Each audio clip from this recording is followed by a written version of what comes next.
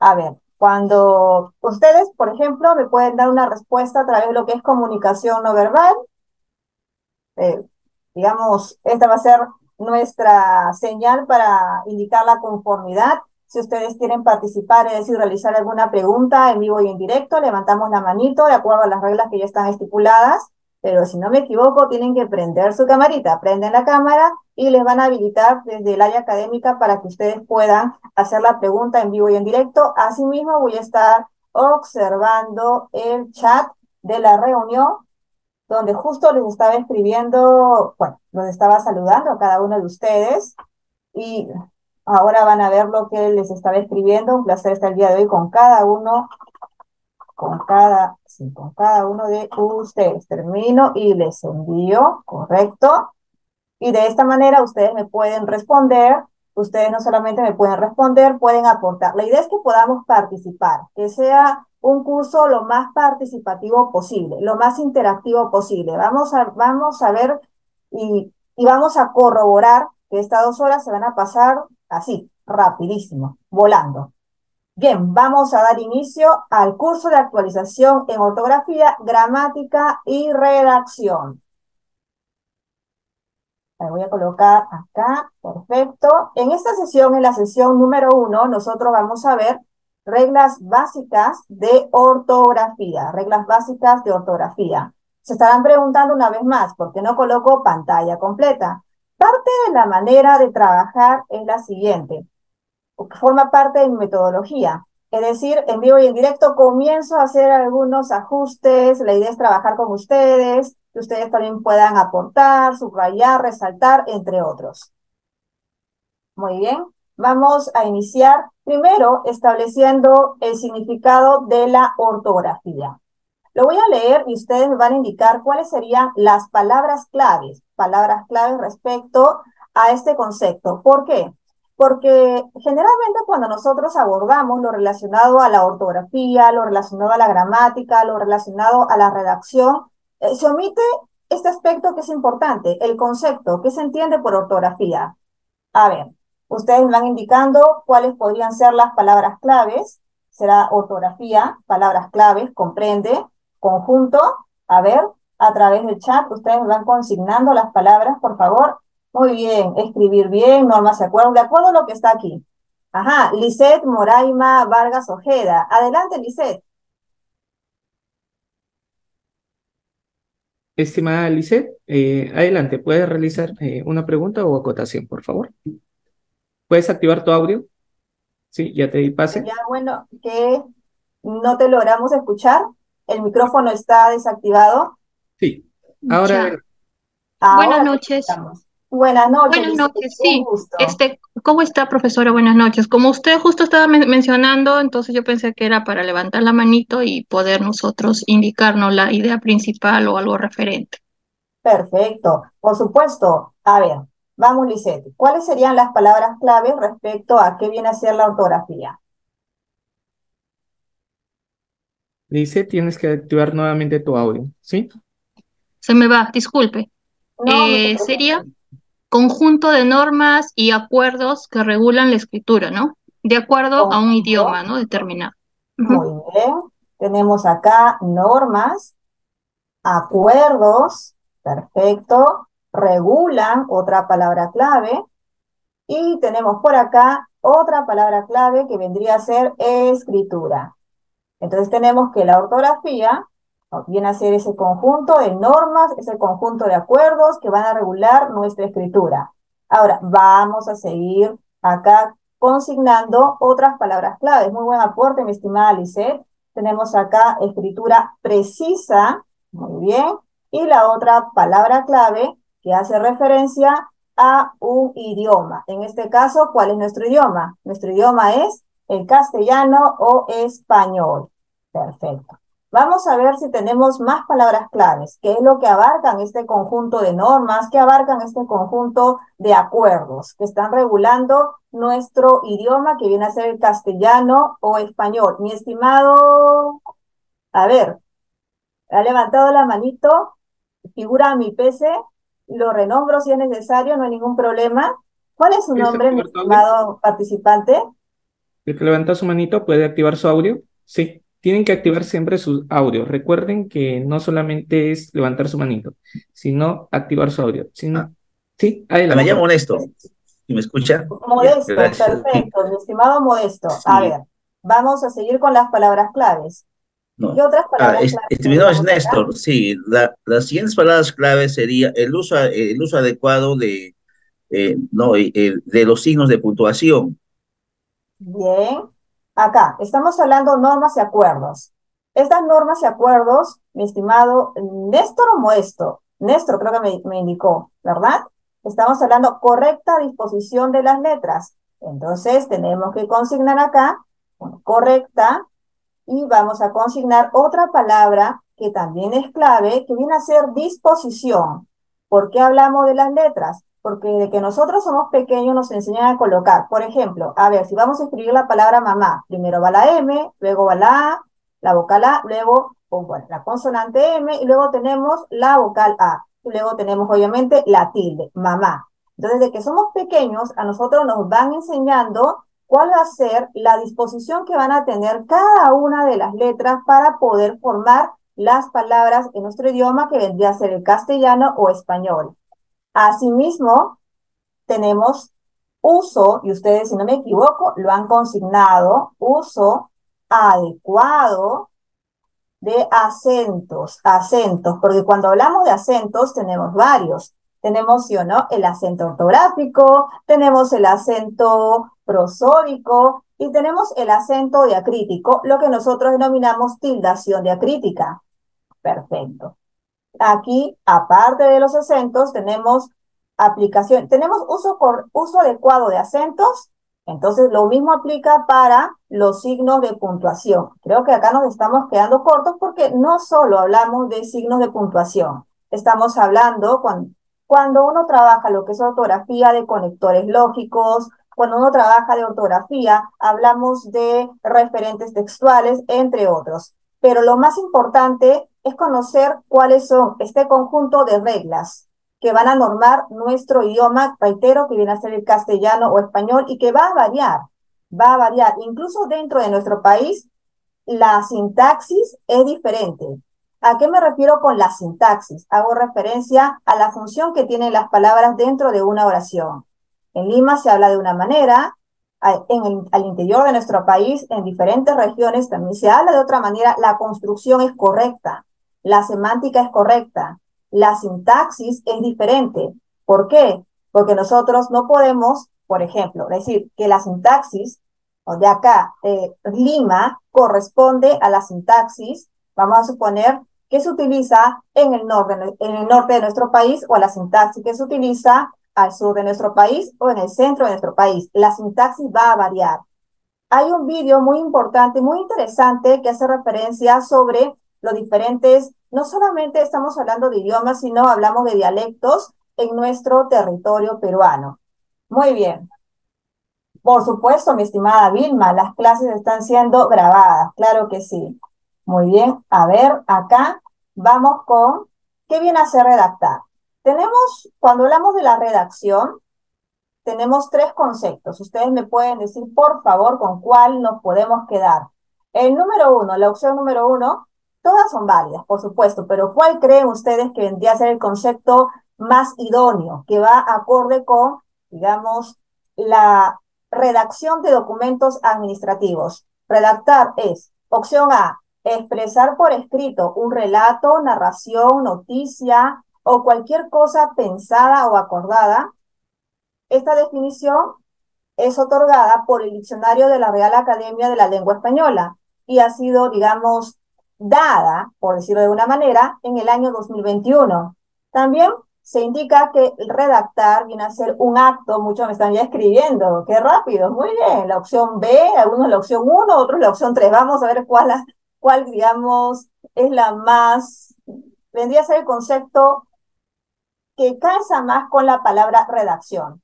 Es un acto de comunicación Correcto, muy bien. Permite la transmisión de mensajes, ideas, sentimientos, conceptos e información en general. Hay que recordar que la, acá vendría a ser una comunicación escrita. La comunicación se divide en comunicación escrita y comunicación oral. No nos olvidemos de ese detalle que es importante.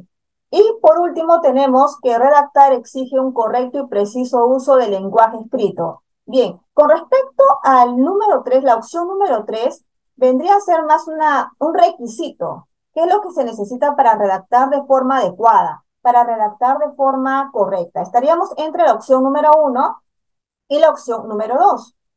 Particularmente, me inclinaría por la opción número 2, particularmente, particularmente. Me inclino ¿por qué? Porque estamos hablando de lo que viene a ser comunicación, reitero acá, comunicación escrita. Las dos caras de una misma moneda porque la comunicación oral va de la mano con la comunicación escrita. Se dice que tal como hablamos nosotros deberíamos escribir, sin embargo, sin embargo, hay que enfatizar que la comunicación escrita, así como la comunicación oral, tiene sus ventajas y tiene sus desventajas. Por ejemplo, una de las ventajas de la comunicación escrita es que si nos equivocamos podemos nosotros, antes de enviar obviamente un determinado documento, podemos revisarlo. Uno, dos, tres, si o no, cuatro, cinco, seis, siete, ocho, nueve, diez veces, las veces que sean necesarias.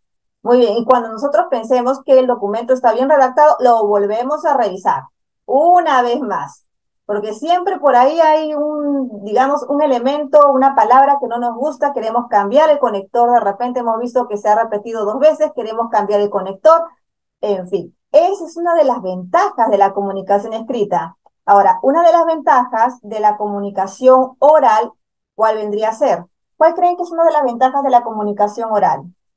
Ventajas, ventajas porque en cuanto a desventajas con respecto a la comunicación escrita, una vez que hemos enviado el documento, no hay forma de retroceder, es decir, lo hemos enviado. Interactuar, rapidez y fluidez. Una de las ventajas de la comunicación oral es que nosotros, si nos equivocamos, podemos, ¿qué es lo que podemos hacer si nos equivocamos al momento de hablar? Podemos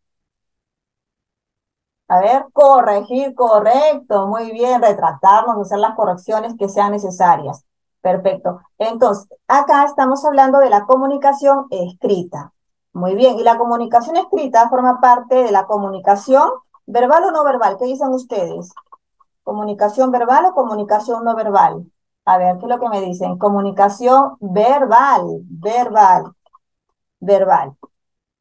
La comunicación no verbal hace referencia a otro aspecto. ¿Y cuál es ese otro aspecto? Estaríamos hablando de los gestos, de los ademanes, estaríamos hablando de lo que viene a ser el lenguaje corporal, entre otros. Comunicación verbal abarca comunicación oral y comunicación escrita. Sin embargo, déjenme comentarles que en algunos textos de educación superior aún se sigue consignando que la comunicación escrita forma parte de la comunicación no verbal cuando ello no es correcto. Sin embargo, justamente estamos en este curso de actualización para reforzar nuestros conocimientos. Muy bien, ahora, quienes optan por la opción número uno también están en lo correcto. ¿Por qué? Porque estamos hablando de expresar de manera mucho más precisa relato, narración, una noticia, una novedad, porque una noticia va de la mano con novedad o cualquier cosa, dice así, textual, ¿ah? textual, dice cosa. ¿Qué es lo que pasa con este término? Este término, lo voy a colocar entre comillas dobles, forma parte de lo que nosotros denominamos falta de precisión léxica. ¿Por qué falta de precisión léxica? Porque se supone, se supone que al ser un concepto, no, no se debería utilizar el término cosa, porque cosa no nos dice nada. Es como decir, por ejemplo, a ver, tengo acá un teléfono celular. Bien, ¿cómo se llama? teléfono celular. No puedo decir, a ver, esta cosa no funciona. No, el teléfono celular no funciona. Por eso es que he resaltado en este caso el término cosa. Y forma parte, vamos a ser sinceros, forma parte de una definición. Acá estamos hablando en términos más generales, mensajes, la comunicación de ideas, la comunicación de un sentimiento, de un concepto e información en términos generales. Perfecto. Ahora que hemos visto que viene a ser la redacción, vamos acá a vincularlo con la redacción administrativa. Muy bien, acá vamos a hacer un pequeño zoom. Coloco, perfecto. ¿Y de qué manera lo vinculo? De esta forma. La redacción administrativa viene a ser un proceso. Estamos hablando de un proceso. Perfecto. ¿Por qué? Un proceso. Porque es una serie de etapas. Hay una serie de pasos que todos nosotros tenemos que seguir sí o sí. ¿Y cuál es el, objetivo de seguir este proceso, de seguir este conjunto de etapas? Expresar de manera clara, que exista esa claridad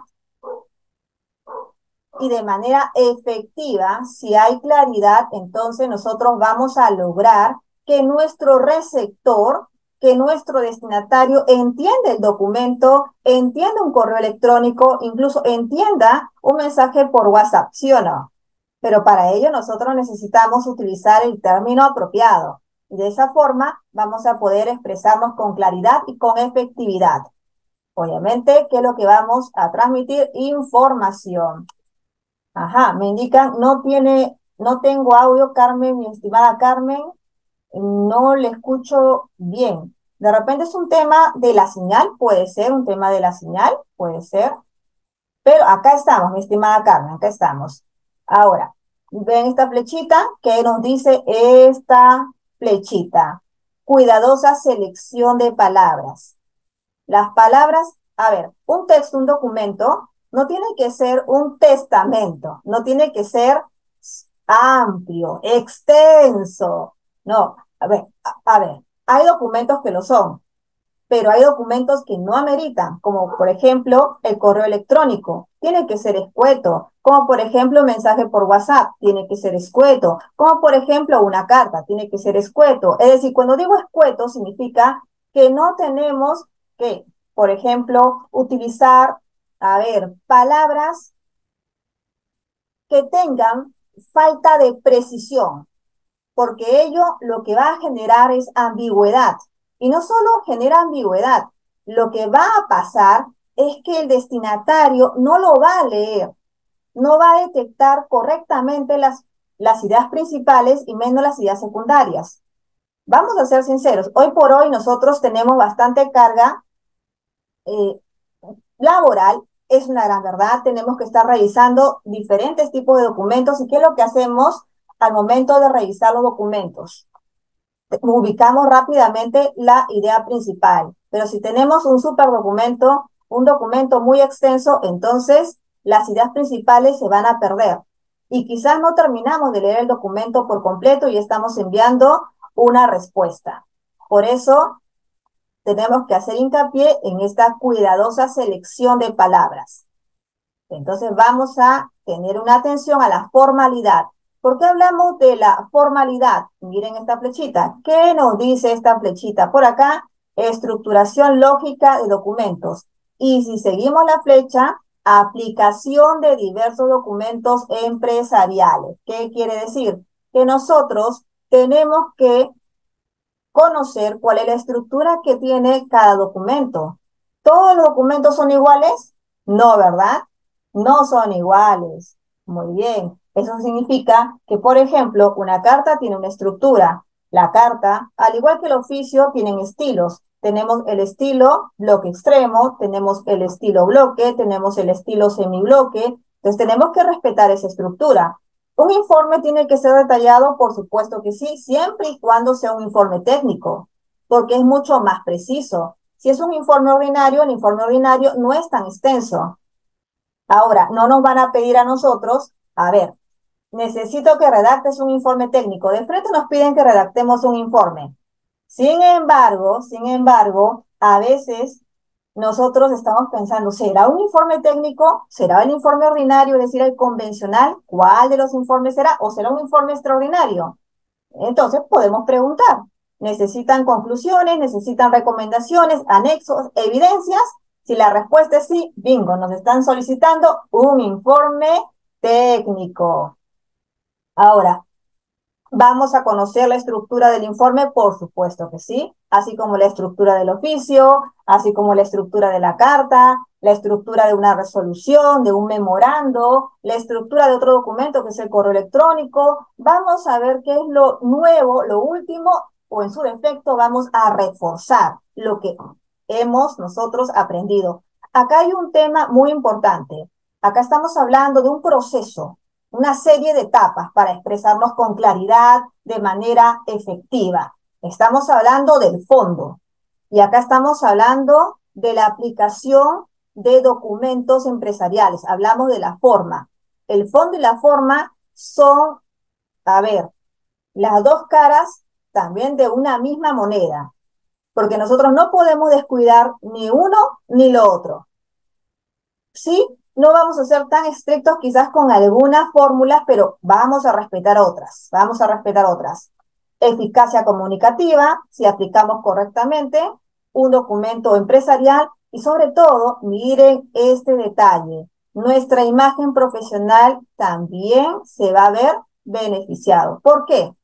¿Por qué creen ustedes? ¿Ustedes están de acuerdo que si nosotros enviamos un documento que ha respetado la forma y que ha respetado el fondo, es decir, se entiende, nuestra imagen va a poder sobresalir? ¿Piensan ustedes que nos vamos a beneficiar en cuanto a imagen? O en su defecto, voy a realizar la pregunta de otra manera. ¿Qué piensan ustedes cuando reciben correos electrónicos mal redactados, que no respetan la forma y menos el fondo? Ajá, Ángela nos dice, sí, demuestra competitividad, correcto. Pero sobre todo, si se beneficia, Lisset, nuestra imagen, Mirea que no está totalmente preparado, quien está enviando un documento mal redactado con errores ortográficos o en su defecto que no, no se ha respetado la forma o la estructura poco profesional y hay algo muy importante. También ello denota una falta de respeto para con el público, para con el receptor, para con la persona que va a decodificar. ¿Ustedes se imaginan enviar un CV, un currículum vitae con errores ortográficos? Ya no son errores ortográficos, serían horrores ortográficos. Así es. Ahí estaríamos hablando de horrores ortográficos. Es inentendible. José Leonardo del Rosario El Paro y Shalom Sala Choquehuanca nos dice falta de formación o en su defecto, para eso estamos nosotros, para llevar a cabo los cursos de actualización, para reforzar, porque a veces nos olvidamos, por supuesto que sí, que habla también a veces olvida y estoy con mi cuadernito recordando, porque recordar es volver a vivir, por supuesto que sí. Bien, comienzan a fluir las frases, las frases. Bien, acá tenemos lo siguiente, propiedades de la redacción. Voy a aumentar. Vamos a ver cada una de las propiedades. Cuando uno redacta, tiene que ser claro, conciso, tiene que haber cohesión y coherencia. ¿A qué nos referimos con la claridad?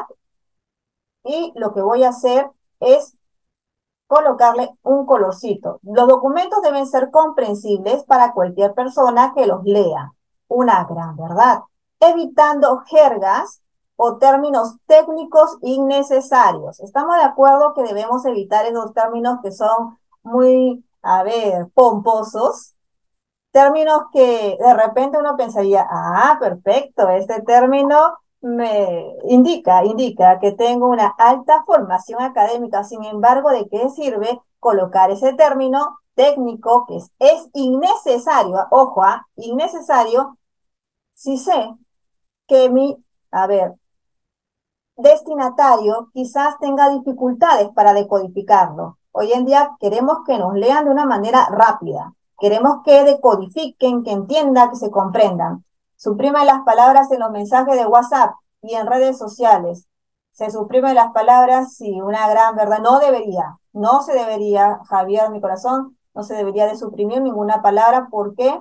Porque si bien es cierto, el WhatsApp no es un documento administrativo, incluso hay, una, hay un formato que nosotros debemos de seguir.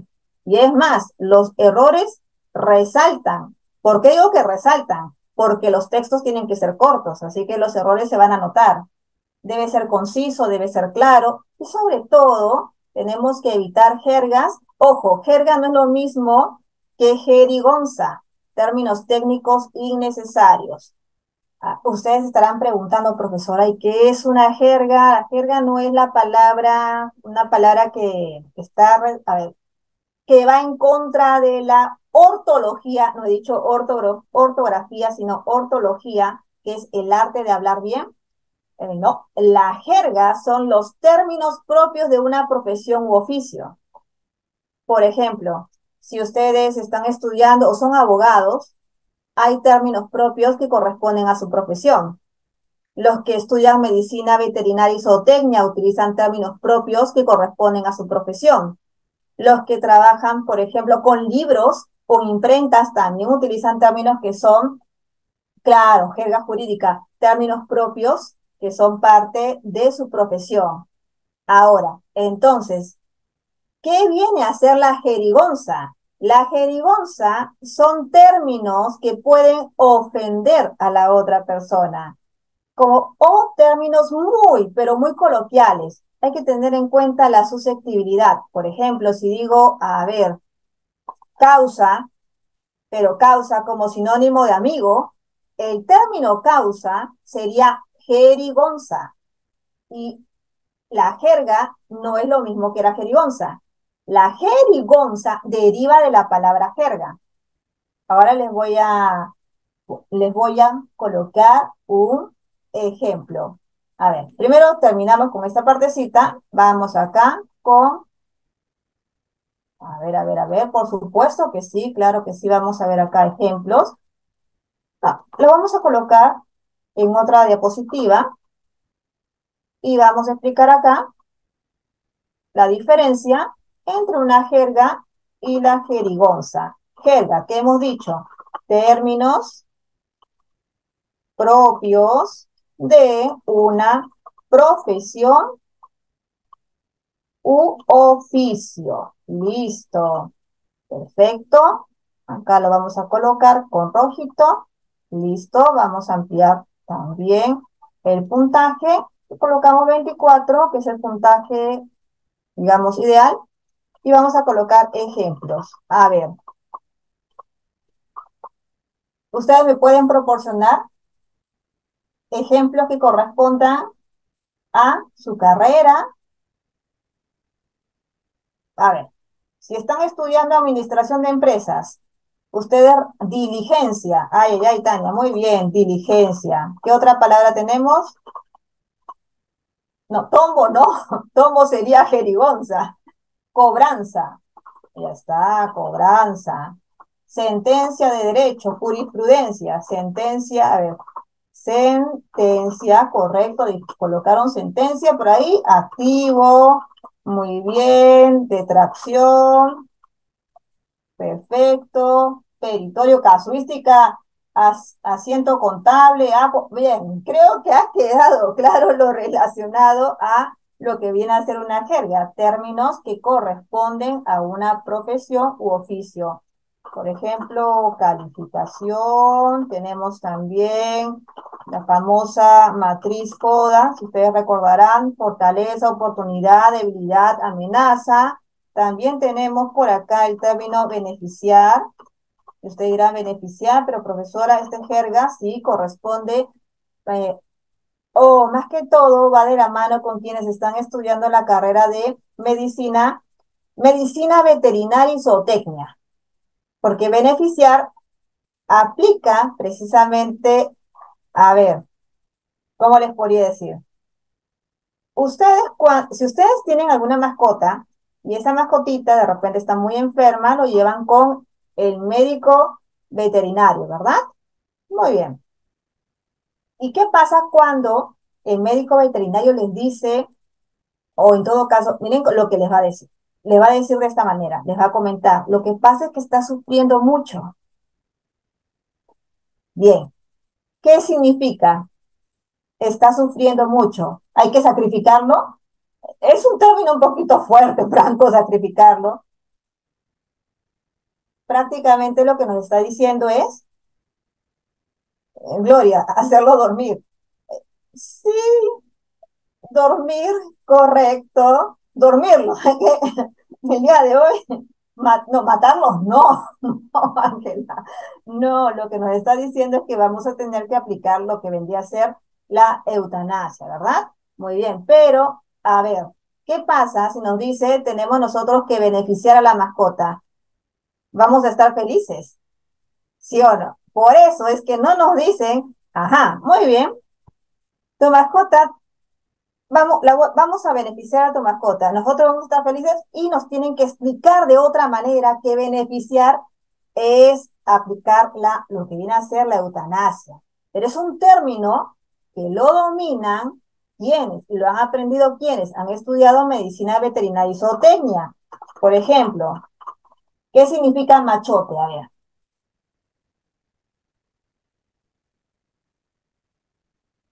Machote.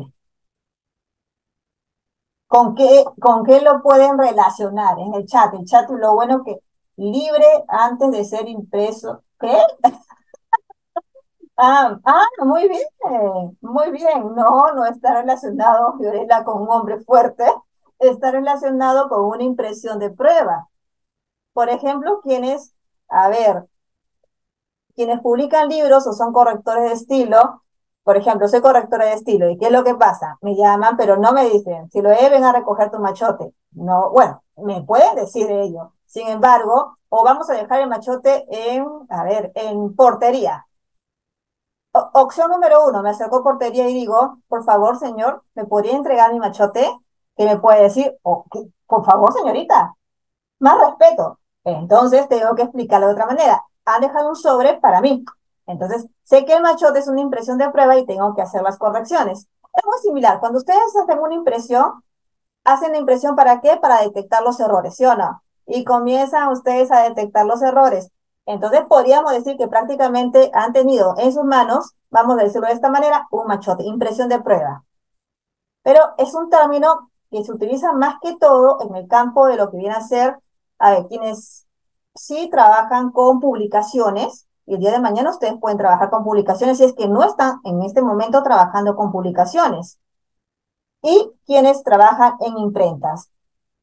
Ajá, se usa en tipografía. Los que trabajan en una editorial también, por supuesto que sí, mi estimado Hugo, en imprentas o quienes, reitero, están vinculados con todo todo lo relacionado con, por ejemplo, revistas. Si ustedes tienen un artículo para publicar, tienen y están en la obligación de, a ver, pedir ese machote, esa impresión de prueba para verificar que todo esté correcto que no se omita ninguna tilde.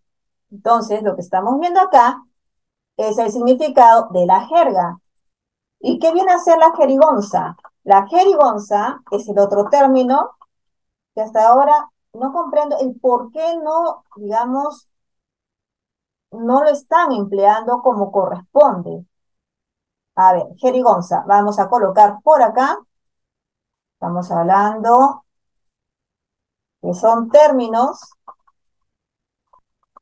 procedemos, muy bien, términos que van en contra de la ortología, el arte de hablar bien. Ajá, retrocedemos.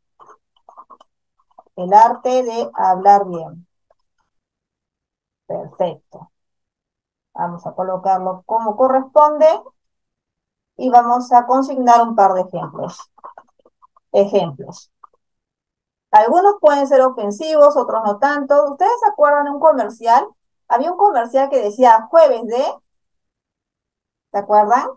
Voy a colocarlo entre comillas dobles. Pa, pavita. Sé que estamos cerca de, de la fiesta de Navidad, pero no, era jueves de patas. Muy bien, jueves de patas. Lo voy a colocar entre comillas dobles. ¿Por qué? porque acá están utilizando la palabra pata para hacer referencia a un amigo. Entonces, el término que corresponde a la jerigonza, y que incluso podría ser ofensivo, viene a ser acá pata. Vamos a resaltarlo. Pata, a ver, han puesto pichanga. ¿Qué significa pichanga? ¿Es jugar fútbol? ¿Sí o no? a Fulvito. Fulvito, un partido de fútbol, correcto, muy bien. A ver, vamos acá. La palabra causa, también lamentablemente, entre, con, todo entre comillas dobles. ¿Por qué? Porque no estamos hablando de un, ojo, un sustantivo. Acá estamos hablando también de un amigo. Ay, ay, ay. Otra, ah, es más, hasta cometemos un vicio de dicción. ¿Por qué? Porque incluso utilizamos en inglés brother, el término brother, Dios mío. Batería. ¿Se han dado cuenta que existen muchos términos para un mismo significado? Ay, a ver, batería y, y acá creo que nos vamos a quedar cortos, ¿ah? Nos vamos a quedar cortos. Lo importante, lo importante es que ustedes sepan cuál es la gran diferencia entre jerga y jerigonza. Profesora, ¿este término puede cambiar? La respuesta es sí. En los penales recibe otro, otro nombre. El otro nombre es replana. Replana. La replana es igual que la jerigonza, solo que es un término, es decir, que aplica para quienes, digamos, expresan de esa manera, pero al interior de los centros penitenciarios. A ver, vamos a colocar acá todo corresponde a la palabra amigo. Y creo que hay más. Los apodos, no, un apodo va a depender. Acá no estamos hablando de apodo, acá estamos hablando, ¿por qué? Porque acá se está reemplazando al sustantivo amigo con otra palabra que no corresponde. Un apodo puede ser el equivalente al nombre de la persona siempre y cuando, o un apelativo, siempre y cuando sea correcto. Por ejemplo, de repente ustedes le pueden decir osito, osita, aquella persona que ha robado sus corazones. Muy bien. Ah, hay más, Janet Vale, si Junta también sería amigo, amigo, correcto. Creo que los diminutivos, sí, no forma parte de lo que es jerigonza, no forma parte, no forma parte de lo que es jerigonza. Y se utilizan mucho los apelativos o en todo caso los vocativos para, para efectos de los signos de puntuación. No sé si ustedes recordarán la coma en vocativo. Lo vamos a ver, no se preocupen, lo vamos a ver, lo vamos a ver. Cada uno de esos detalles. Bien, acá la idea es que quede claro qué es lo que nosotros entendemos por jerga y qué entendemos por jerigonza y que en el plano, una vez más, de, a ver, un centro penitenciario, el término cambia por otro que se llama replana. La palabra chamba sí es jerigonza, sí es jerigonza la palabra chamba, porque chamba equivale a, vamos a colocar, a trabajo. Mi primera chamba, dice Aaron Fernández. ¿Se han dado cuenta que, a ver, los medios de comunicación en términos generales utilizan mucho términos o palabras, diré, que son, que forman parte de la jerigonza. Y en lugar de contribuir a mejorar nuestra forma de expresarnos es todo lo contrario. Todo lo contrario. Decirle tío a un señor amigo, a un señor amigo es jerigonza, claro que sí, a menos que realmente sea, un, sea tu tío, ¿no? Si es realmente tu tío o es realmente tu tía, está bien. Pero de lo contrario, ahí estamos, quizás incluso faltando el respeto. Ojo con ello, hay términos que faltan el respeto, hieren susceptibilidades. y todo lo que están colocando también. Muy bien. A ver, y eso que estábamos viendo, la primera parte, nada más, la parte de la claridad. Bien, y estoy resaltando lo que tenemos que evitar con respecto a la claridad. Acá lo vamos a colocar con amarillito para resaltarlo. Muy bien, acá, concisión. ¿Qué entendemos por concisión? Los documentos deben transmitir la información de manera efectiva y sin redundancias. Ajá, de manera efectiva. La eficiencia, la efectividad, perfecto. Va de la mano con utilizar el término correcto. ¿Se acuerdan que hace unos, hace unos minutos hablamos de la selección de las palabras. Muy bien, ¿y qué es una redundancia? ¿Se acuerdan ustedes qué es una redundancia? A ver, voy acá a resaltar, repetir. La redundancia, que es una figura del pleonasmo. Lisette de mi corazón, ¿cómo estás? Adelante, por favor. Si puedes habilitar tu cámara, sería excelente para que te puedan... Exacto. Hola, Lisette, ¿cómo estás? Un gusto. A ver, te escuchamos, Lisette. Lisette. ¿Puedes activar tu audio? Ya está. Sí, eh, como usted estaba preguntando, este, redundancia no es volver a decir lo mismo, este, volver a repetir la misma idea, a veces con las mismas palabras, ¿no? Eso. Correcto. Sin embargo, vamos a ampliar un poquito. Efectivamente, Lisette, y lo que están indicando es conforme a través de chat. La redundancia viene a ser la figura del pleonasmo. Vamos a colocarlo acá. Figura del pleonasmo. Es un vicio de dicción y consiste en la repetición innecesaria. ¿Qué quiere decir? ¿Que hay repetición que es necesaria? Por supuesto que sí. Los poemas, las canciones utilizan lo que es la redundancia, figura del pleonasmo, porque es necesario repetir ciertas estrofas, ciertos términos para que pueda calar en el público. Pero si no es necesario, entonces ahí estamos cayendo en este vicio de dicción, tanto en el plano escrito como en el plano oral.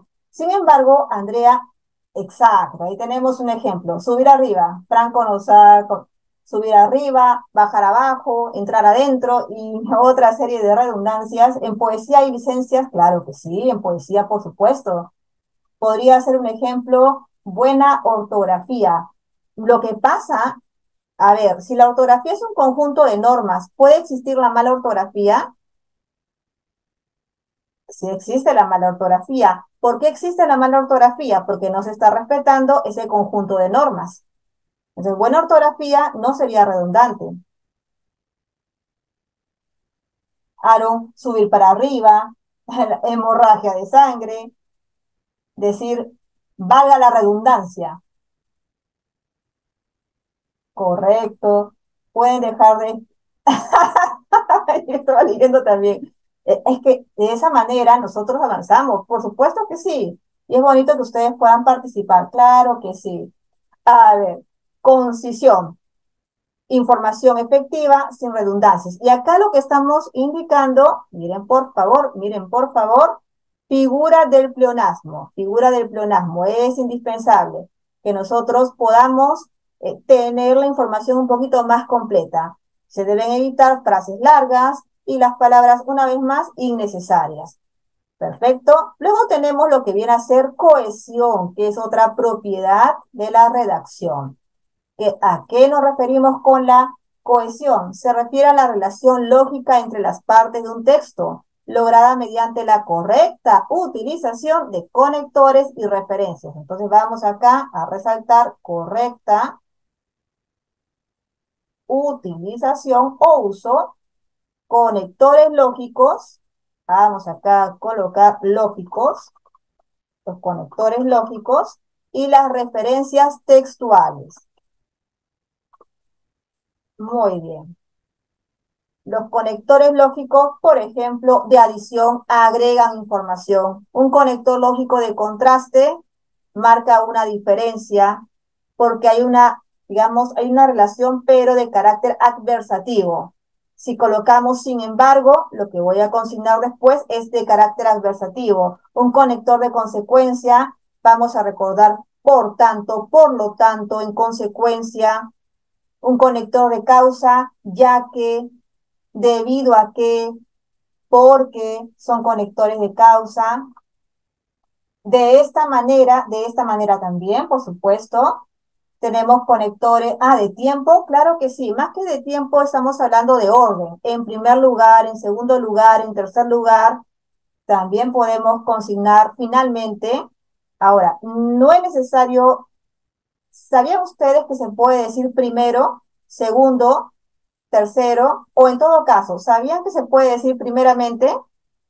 Se puede decir primeramente. El problema es que nosotros podemos contar primeramente, segundamente, pero hay un tope, hay un tope. Por eso en lugar de primeramente, nosotros decimos en primer lugar, porque puedo decir en primer lugar, en segundo lugar, en tercer lugar, puedo decir en cuarto lugar, en quinto lugar, en sexto lugar. Pero si buscamos en este momento en el diccionario de la Real Academia, van a ver que tenemos primeramente, existe segundamente, si no me equivoco, existe terceramente, pero hay un tope.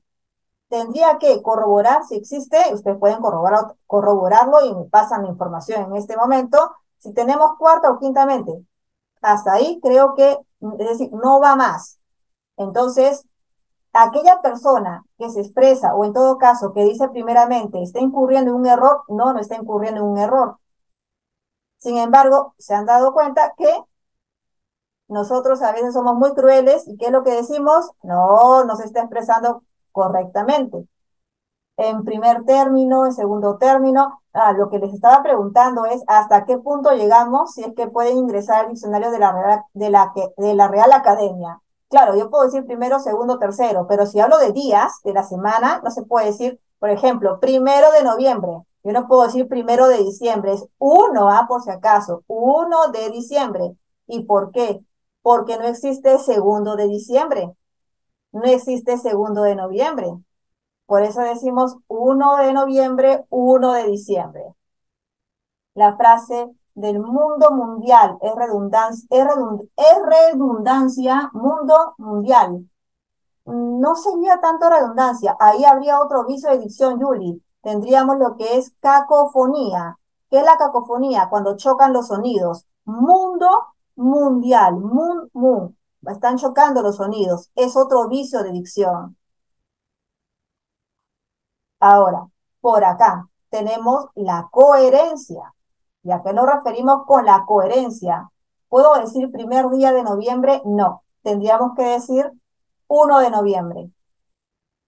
No se puede decir porque no podemos decir segundo día de noviembre, tercer día de noviembre, no se, no se contabilizan los días de esa manera. Y cuando dicen las disculpas del caso, ¿por qué es agregado del caso? Porque estamos hablando de una determinada situación. Es decir, ante cualquier situación X, la que se presente, si nosotros decimos las disculpas del caso, es por la situación en la cual nosotros nos encontramos. Primer término, segundo término, claro, pero ahí le estamos agregando la palabra término, no día. No, por ejemplo, no uno, no dos, no tres, el número.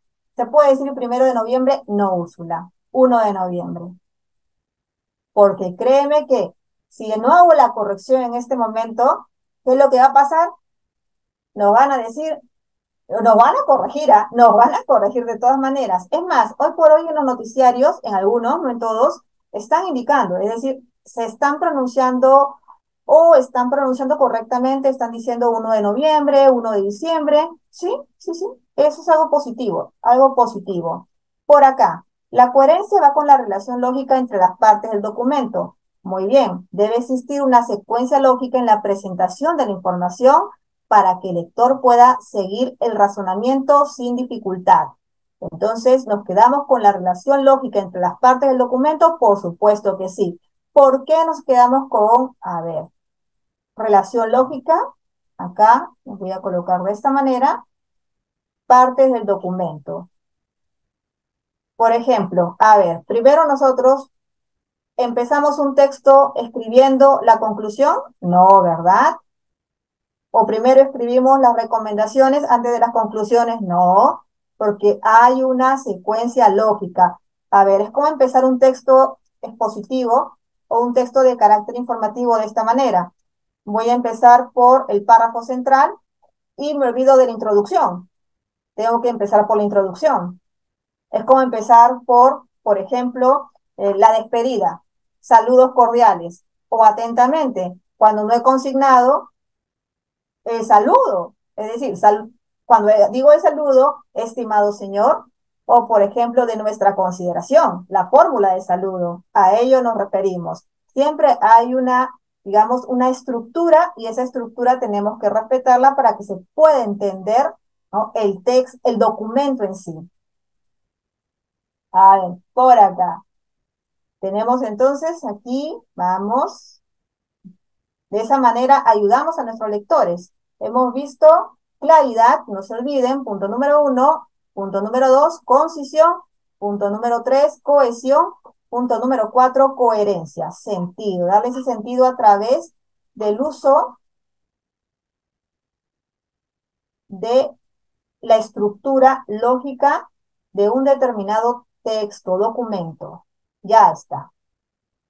Ahora, por acá vamos a ver los diferentes tipos de textos en cuanto a la redacción. Tenemos por acá, y vamos a hacer lo siguiente, eliminamos la imagen que está acá, lo pasamos por este ladito, lo dejamos acá, listo. Y vamos a ampliar. Expositivo, quiere decir que es de carácter informativo o informativa. Una, una redacción expositiva tiene este carácter. Se le llama expositivo o texto informativo. Narrativo, descriptivo, va de la mano con el campo de lo que es la literatura. El argumentativo o persuasivo. También tiene una estructura, ¿por qué? Porque se trabaja con lo que nosotros denominamos tesis. ¿Qué viene a ser una tesis? No, no es lo que están pensando, no es el trabajo científico, no es el trabajo para poder, digamos, obtener nuestra maestría o para poder obtener un doctorado. Cuando hablamos de la tesis, hago referencia a nuestra posición a favor o en contra sobre un determinado tema, sobre un determinado tema. Por eso un texto argumentativo se trabaja en base a una tesis, donde se coloca esa posición a favor o en contra, se va a colocar en la introducción. ¿Tiene su estructura? Por supuesto que sí. Científico y académico. A ver, cuando hablamos del campo científico y el campo académico, por ejemplo, les pregunto, ¿una monografía estaría dentro del campo académico o del campo científico? ¿Qué dicen ustedes? Una monografía, ¿científico o académico? Académico, correcto. Una monografía dentro del campo académico. Voy a colocar acá monografía. Perfecto. Ahora les pregunto, dentro del campo científico, ¿qué podemos consignar? Una investigación, ajá, sería científica, un trabajo de investigación. Aunque una monografía podría ser, a ver, el proyecto de tesis, la tesis en sí. ¿Qué más podría ser? Porque cuando hablamos de proyecto de tesis o de tesis, estamos hablando, miren, de lo que voy a consignar por acá. Listo. Acá voy a colocar la investigación básica.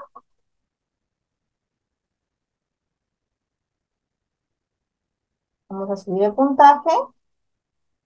Generalmente, cuando uno está realizando una maestría, realiza una investigación básica y luego tenemos lo que se denomina una investigación aplicada, que demanda mucho más tiempo que la convencional. Vamos a colocar ambas investigación aplicada. Perfecto. Siempre vamos a conocer un poquito más. ¿Listo? Ahí está. Bien, tenemos acá creativa, empresarial o administrativa. ¿Dónde nos encontramos nosotros? Aquí. En esta última fase, los últimos serán los primeros, por supuesto que sí. ¿Por qué? Porque en el campo empresarial o en el campo administrativo es donde nosotros vamos a aprender a trabajar correos, vamos a aprender a trabajar, como les había comentado, cartas, oficios, entre otros, diferentes documentos en términos generales. Así es. Ajá, una persona común y corriente. Lo que pasa, ajá, Carlos Damián está haciendo una consulta que me parece interesante y dice, y dice así. A ver, cuando me quiero referir a una persona o grupo de personas, puedo decir una persona común y corriente. ¿Qué dicen ustedes? Es una frase que le escuchamos bastante. La pregunta es, ¿es viable decir una persona común y corriente? ¿O es una frase que si la analizamos nos vamos a dar cuenta que es un tanto despectiva? Es un tanto despectiva. Exacto. Es una, sí, el administra, después he poner el administrado, despectiva. No debería, no deberíamos. Ahora, miren acá. Acá es una pincelada. Usted dirá, profesora, no leo, no leo. un minutito, no se preocupen. Déjenme con esta parte. En el sector público En nuestro país, para ser más precisa, la redacción administrativa es crucial para la comunicación interna y externa, así como para su adecuado funcionamiento. Ahora, si ustedes no están trabajando en el sector público, en el sector privado, aplica, aplica para el sector privado, por supuesto que sí. Algunos tipos de redacción administrativa son los siguientes y acá vamos con el Zoom. Vamos así a verlo de una manera bastante amplia o general. vamos por este lado. Tenemos acá oficios, los oficios. ¿Vamos a ver oficios? Por supuesto que sí. Documentos escritos que se utilizan para comunicarse oficialmente entre diferentes entidades gubernamentales o al interior de una misma entidad gubernamental. ¿Por qué? Porque en algunos, por ejemplo, en algunos ministerios utilizan el oficio como una forma de comunicarse entre instituciones y utilizan la carta como una manera de comunicación interna. Sin embargo, no es en todas las instituciones. Ojo con este detalle. ¿Por qué? Porque en otras instituciones, también del Estado, utilizan los oficios para comunicarse, tanto de manera interna como de manera externa. Y la carta se utiliza para, o en todo caso, tiene otros fines. Todo ello también lo vamos a ver en esta, digamos, esta secuencia de sesiones o de clases. Ajá, acá tenemos los memorandos o el famoso memorándum. Guillermo, ¿puedes escribir memorándum? La respuesta es sí. Pero eso sí, no se olviden de colocarle su tilde. Un memorando, que viene a ser acá, son comunicaciones internas utilizadas para transmitir información dentro de una entidad gubernamental. O en todo caso vamos a colocar acá, o privada. ¿Por qué? Porque al interior de una institución privada también se utilizan los memorandos.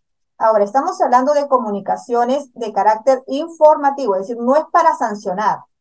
No es que, por ejemplo, a ver, va a llegar un memorando, veo el memorando, viene mi nombre y me voy a poner muy nerviosa. No, no, no es así.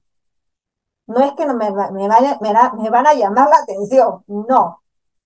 Puede haber un memorando que haga referencia, por ejemplo, a un cambio de horario por supuesto que sí.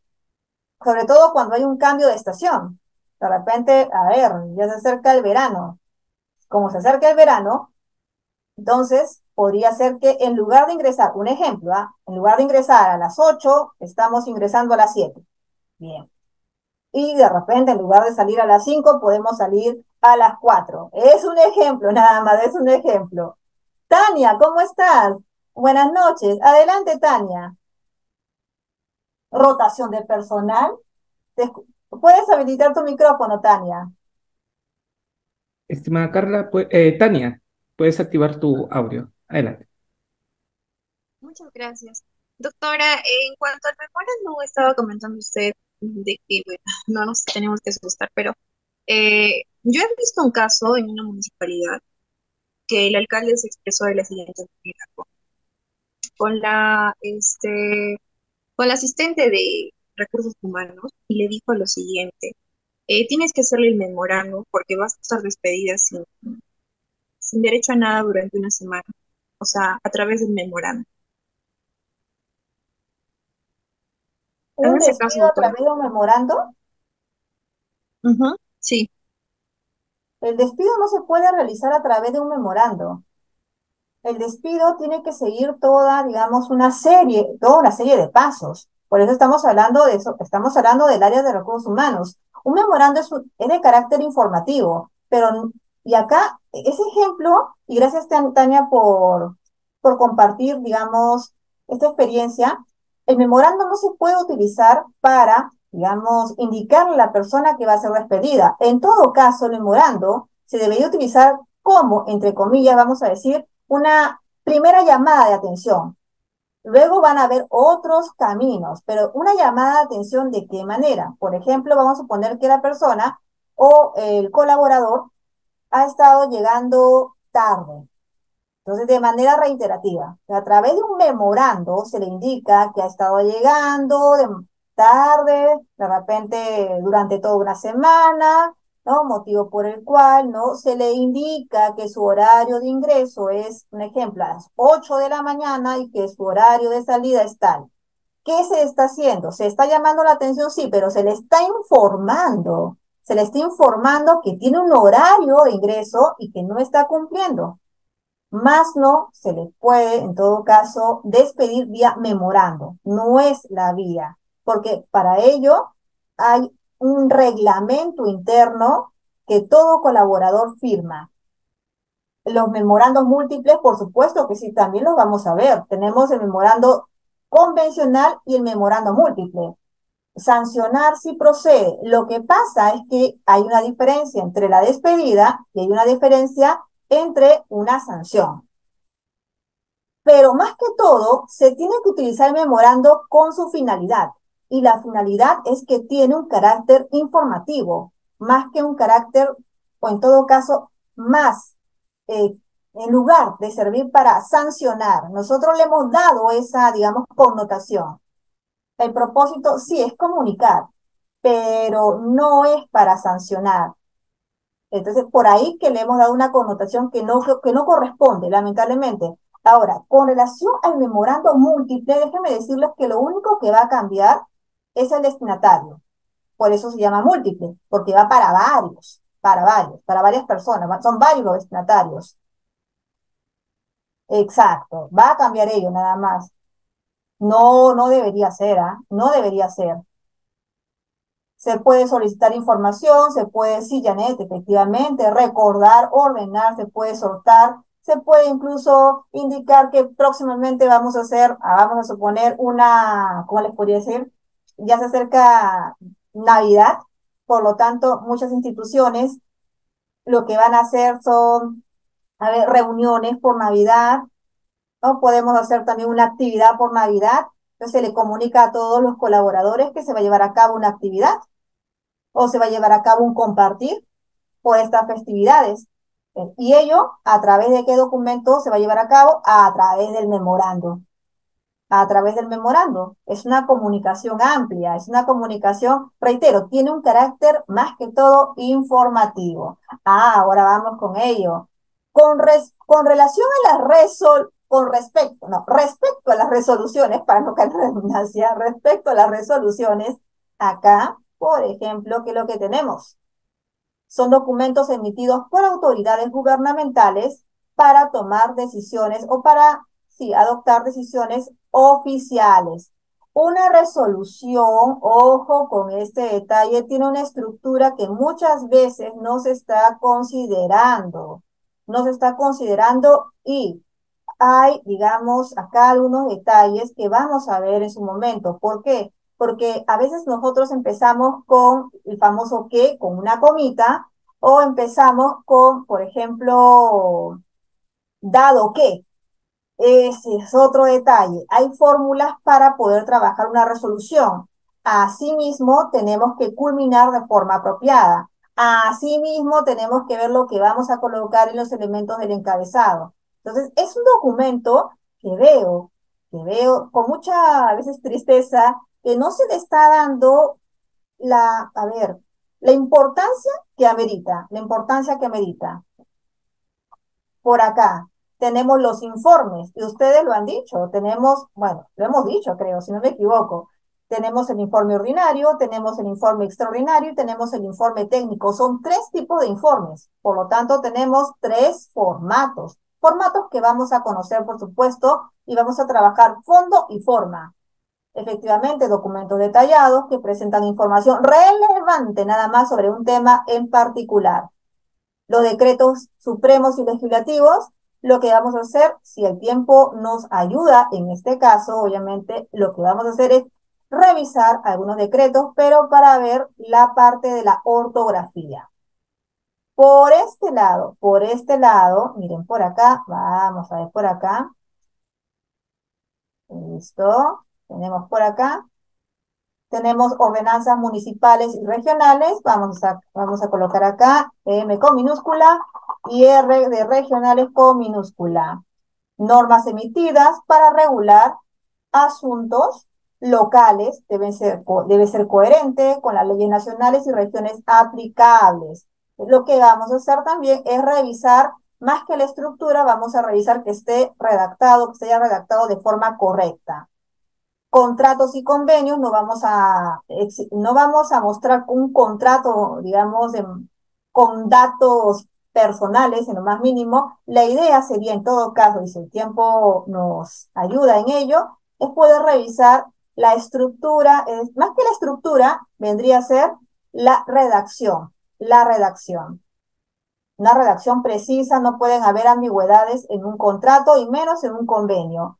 Por este lado tenemos los famosos comunicados y notas de prensa. Ojo con este detalle, porque tiene otra, es otra estructura. Una nota de prensa, lo voy a colocar acá, o un comunicado, una nota de prensa, trabaja bajo esta estructura que se llama pirámide invertida. Y ustedes dirán, profesora, ¿qué es pirámide invertida? Va de más a menos en orden de importancia. Lo más relevante se... Ay, a ver, acá omití. Muy bien. Lo más, lo más importante se coloca al inicio y va así, va bajando en orden de importancia. ¿Por qué? Porque a veces nosotros leemos muy rápido o en su defecto leemos el primer párrafo y queremos con la lectura del primer párrafo estar informados de todo. A veces ni siquiera terminamos un comunicado o una nota de prensa. También lo vamos a revisar porque hoy por hoy tenemos varios comunicados que pululan por diferentes medios de comunicación, ¿sí o no? Y a veces nos damos con la sorpresa que no están bien redactados o no se está respetando la estructura o la forma, sobre todo para quienes están en el área de prensa o en el área de relaciones públicas un circular o le llaman circular, no, circular, le llaman circular, incluso hablan sobre el oficio circular. También lo vamos a ver y vamos a ver cuál es la diferencia entre el múltiple y el circular. ¿Habrá diferencia? Todo eso y mucho más más adelante, no se preocupen. Reglamentos y directivas en términos generales, por supuesto que lo vamos a ver porque tenemos que revisar estructuras y sobre todo vamos a revisar la parte del fondo establecen procedimientos y pautas internas para el funcionamiento de las entidades gubernamentales.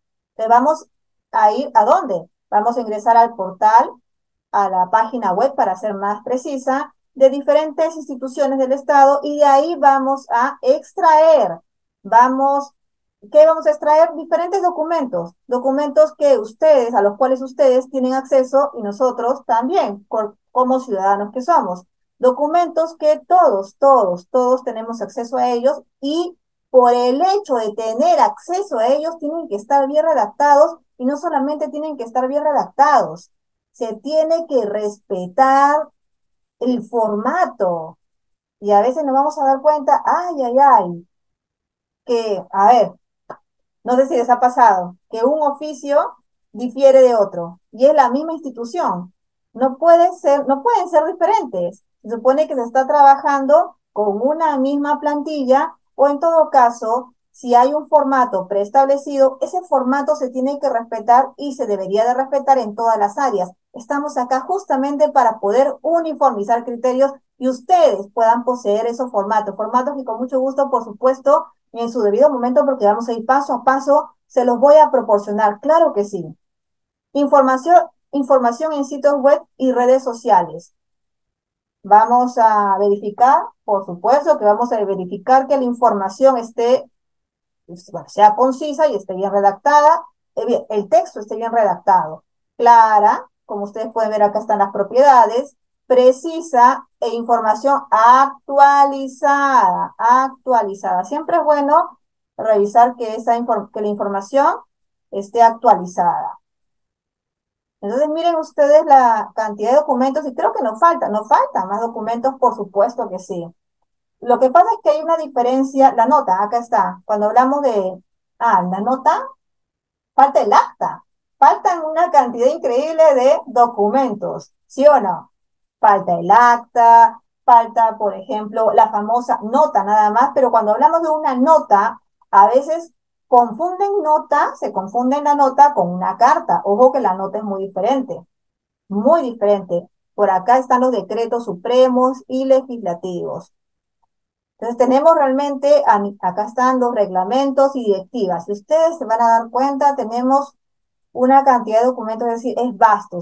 Creo que las sesiones nos van a quedar un poquito cortas, para ver, pero vamos a ver los más importantes y no se preocupen que les voy a proporcionar los, digamos, lo que, está, lo que estamos haciendo en clase y en su momento las plantillas, porque voy a trabajar con plantillas. Vamos a hacer la corrección de los documentos en vivo y en directo. Todo, todo ello, por supuesto que sí. Nuevas reglas aceptadas por la RAE. Ay, ay, ay, había que actualizar. Para quienes me conocen, había que actualizarlo también. ¿Por qué algunas nuevas reglas? Miren por acá, por favor. Ay, ay, creo que tenemos por acá la palabra solo. Primero tenemos solo como sustantivo, como adjetivo, una persona que está, bueno, adjetivo equivale a soledad o, para ser más precisa, en soledad, ¿ah? es en soledad. Una persona que está sin compañía, como adverbio equivale a solamente, ¿no? Sinónimo de únicamente, sinónimo de solamente. Muy bien. Les pregunto, ¿solo se tilda? ¿Qué dicen ustedes? Vamos a recordar un poquito. Me dicen que no, no se tilda, no. ¿Están completamente seguros que no se tilda? Roberto dice sí. Creo que ya no se tildaba, ya están. Muy bien, ya no están seguros. Depende, ahora depende. Muy bien, déjenme comentarles lo siguiente. A ver, la palabra solo, y acá vamos a consignar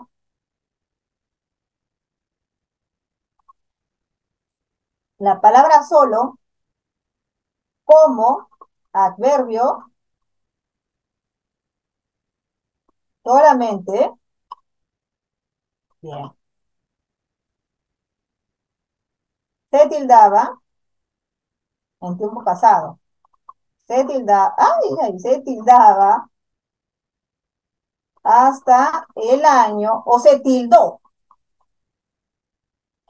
de manera, ahí está, obligatoria hasta el año 1998, de manera obligatoria. Es decir, sí o sí, para establecer la diferencia con el adjetivo. vamos a colocar la tilde acá, para establecer la diferencia con el adjetivo. Muy bien. Ahora vamos a colocar 1999. Dejó de tildarse. La palabra solo.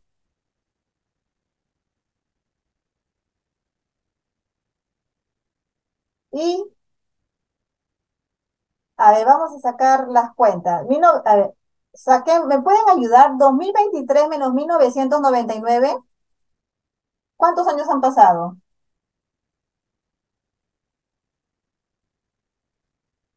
24 años. Muy bien. 24 años que no, bueno, no sé, 24 años, sí. Muy bien. 24 años. Sin embargo, 2023 regresó la tilde. 2023. Así que con cariño les presento acá el regreso de la tilde con respecto a la palabra solo. El regreso se dio en el año 2023, pero para ser más precisa fue en marzo de este año. Marzo, ¿ah? Marzo de este año. Regresa la tilde. Y no, y no, a ver, y no solo con esta palabra, también regresó la tilde con los pronombres demostrativos este, miren acá, ese, aquel, obviamente su femenino, esta es aquella, ¿correcto? pero, miren acá, acá está, acá está este detalle, no se olviden. Cuando según la opinión del escritor, puede existir ambigüedad en la interpretación, es decir, es de manera opcional. Si ustedes creen que su receptor se puede confundir, entonces la, RAE les dice, pueden tildar solo. Si alguien les dice no se tilda, ustedes tienen que indicar desde el año 2023, es decir, este año, correcto, desde marzo de este año, para ser más precisa, se puede tildar. Todo ello va a salir publicado en el Diccionario Panhispánico de Dudas en el año 2026. Se va a publicar, pero obviamente ya es efectivo, es efectivo. Ahora, acá, ustedes me van a ayudar, por favor. Ejercicio número uno, dice así, el director solo firma los documentos después de las 17 horas. Interpretación número uno. Claro, solo se tilda cuando únicamente equivale al adverbio, al adverbio solamente. Acá está, adverbio, adverbio, solamente. Muy bien. Interpretación número uno. Ustedes me van a decir cuál de las dos interpretaciones es. El director únicamente firma los documentos después de las 17 horas. O el director firma los documentos en soledad, es decir, está solito sin compañía, después de las 17 horas. La número, la número uno. Entonces, ¿qué hacemos? Le vamos a colocar acá la tilde. Ay, ay, ay, no. Acá. Acá le vamos a colocar la tilde. Ya está. Perfecto. Con tilde. Y vamos a resaltar la primera opción. ¿Se acuerdan que les dije que el, significado es en soledad? No es soledad, sino es en soledad. Es decir, ese vendría a ser el significado de solo sin tilde, como adjetivo. Muy bien. Número dos.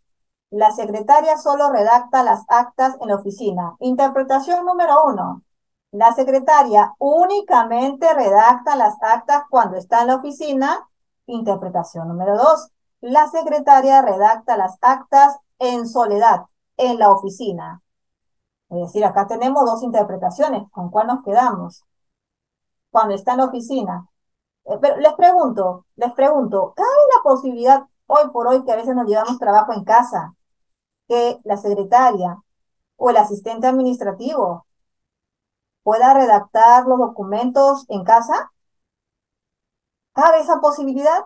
¿Cabe esa posibilidad? Puede ser que sí, puede ser que no. Sin embargo, lo ideal, lo ideal es que se respete el horario de oficina. Es lo ideal. Así que nos vamos por la opción número, ahí, ahí, número uno también. Acá vamos a resaltarlo, lo vamos a resaltar. Sin embargo, puede ser, ojo, acá un detalle, puede ser, y se da que existe esta doble interpretación. El hecho que exista una doble interpretación o el hecho de que podemos inclinarnos por la opción 1 o de repente podríamos inclinarnos por la opción 2, indica que sí o sí tenemos que tildar la palabra solo porque existe esa ambigüedad en la interpretación. A ver, voy a hacerle la pregunta.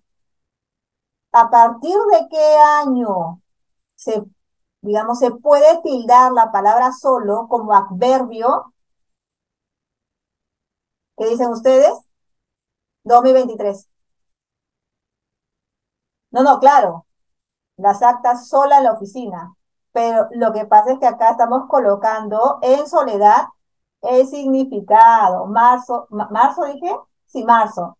Para ser más precisa, a ver, estoy tratando de, de evocar mi recuerdo, de evocar de recordar. Creo que fue el 2 de marzo, ¿ah? 2 de marzo, 2 de marzo de este año. A ver. Asimismo, en este año hemos tenido algunas digamos, precisiones con respecto a dos términos, el término discapacidad por parte de la RAE y el término racismo, que se indican lo siguiente.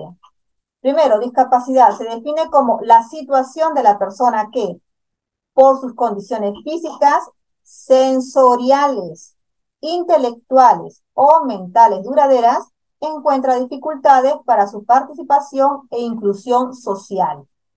Es lo que acá se ha establecido es lo siguiente. Vamos a colocar las comillas dobles, es decir, se ha precisado el término discapacidad.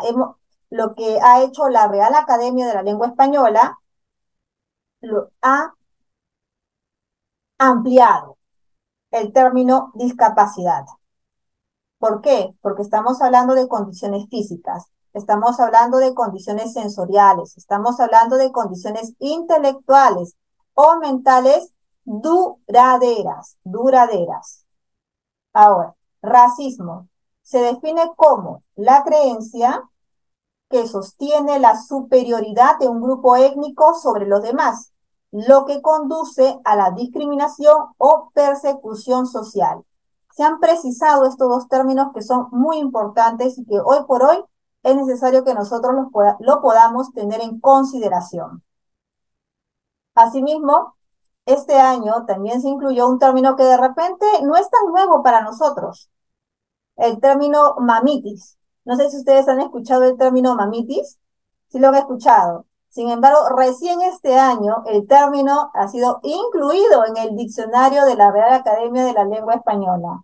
Es interesante todo ello. Lo hemos escuchado, pero no lo estábamos practicando, es decir, no estaba oleado y sacramentado por la Real Academia. Ojo con este detalle, la Real Academia no trabaja de manera aislada. La Real Academia de la Lengua Española trabaja en conjunto con diferentes academias e incluye la Academia Peruana de la Lengua. No se olviden de ese detalle, por favor, porque a veces uno piensa que es una imposición y no, no hay imposición por parte de la Real Academia de la Lengua Española.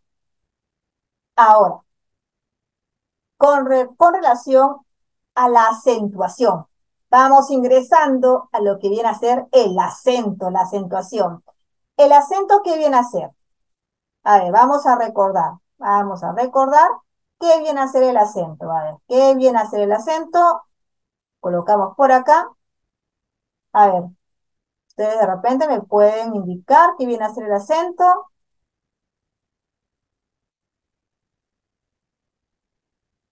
No todas, ¿ah? No todas, Vilma. La mayor fuerza de voz. Muy bien, Stephanie. Vamos acá a ampliar el puntaje. Recuerden que se trabaja de manera conjunta con la Academia Peruana de la Lengua y las demás academias. La mayor fuerza de voz que recae sobre una, sobre una palabra o sobre una sílaba. ¿Qué viene a ser el acento?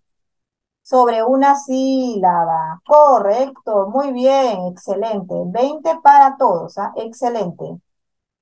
Estamos colocando acá y voy a consignar acento.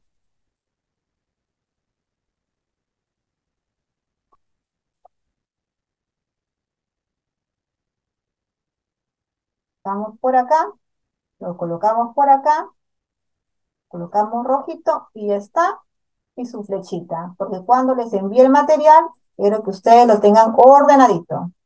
Listo. Ahora, en, en cuanto a los acentos, tenemos dos tipos, el prosódico y el ortográfico. El ortográfico es el que se representa a través de una, ¿se acuerdan? Una rayita, una tilde. Esa rayita, esa rayita, a ver, o en todo caso, la tilde viene a ser una rayita oblicua que se grafica de izquierda a derecha. Y el acento prosódico simplemente es el énfasis, el énfasis nada más. Acá no tenemos una gráfica, no tenemos una tilde. Y esa es la gran diferencia entre el prosódico y el ortográfico. Vamos a colocar por este ladito lo siguiente. ¿Qué viene a ser una tilde? Acá tenemos que viene a ser una tilde, vamos a colocar lo que viene a ser una tilde tilde. Ahí vamos a colocar acá. Tilde. Así, no es raya, es rayita, rayita oblicua que se grafica de izquierda a derecha. Ya está. ¿Por qué de izquierda a derecha, profesora? Porque nosotros, porque nosotros, a ver, nosotros ¿cómo leemos? ¿De derecha a izquierda o de izquierda a derecha? Así lo vamos a consignar. Ahí está. Solo el sonido nada más. De izquierda a derecha. Muy bien, estimado Hugo. Perfecto. Ahora que nosotros sabemos que viene a ser la tilde, sabemos que es el acento, esa mayor fuerza de voz que va a recaer sobre una sílaba, sabemos que existen dos tipos de acentos, el acento ortográfico y el acento prosódico. Muy bien. Ajá, el 2 de marzo, me están, corroborando en vivo y en directo. Fue el 2 de marzo. Víctor Moreno acaba de, muchas gracias, Víctor, de mi corazón. 2 de marzo, fue el 2 de marzo. Muy bien, tenemos acá dos tipos de sílabas. Tenemos la famosa sílaba átona y la sílaba tónica. ¿Cuál es la diferencia? La sílaba tónica es aquella que recibe esa fuerza de voz y las átonas son las que carecen de la elevación de la voz. Por eso, si acá tenemos la palabra que ha dividido en sílabas, acudió, entonces tenemos dos sílabas átonas y tenemos una sílaba tónica. Por ejemplo, vamos con otra palabrita. Acá tenemos la palabrita